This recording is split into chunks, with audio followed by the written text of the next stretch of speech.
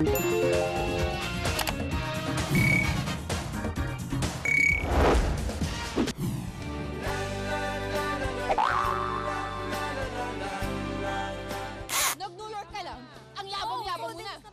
the Salazar sisters, Teddy, Bobby, Alex, Gabby. The four sisters are so giggle. Para marriage ni Reb Reb kanilang mapigil. At dito na nagsimula ang mali-mali nila.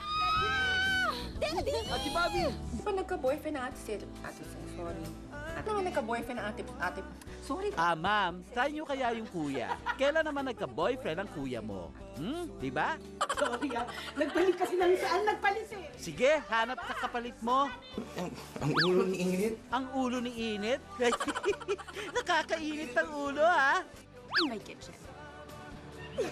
Ang hirap! Wawa, ang hirap na nun. Mas mahirap kaya yung in my toilet. O, di ba? Cause of delay yon. Memorable ang eksena kapag nakarami ka na ng take. Tapos almost perfect na, di ba? Tapos, You have to pick someone to be.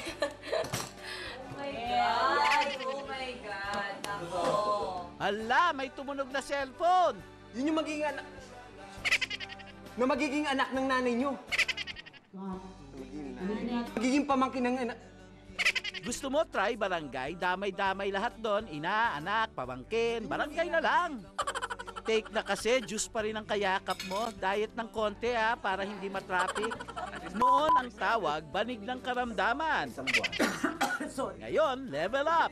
Mesa ng karamdaman. At least, hindi pa nakaratay, hindi pa malala. Season actress Carmi Martin, nakaka-distract sa kanyang acting. Naku, baka yung boobs ko, dulin.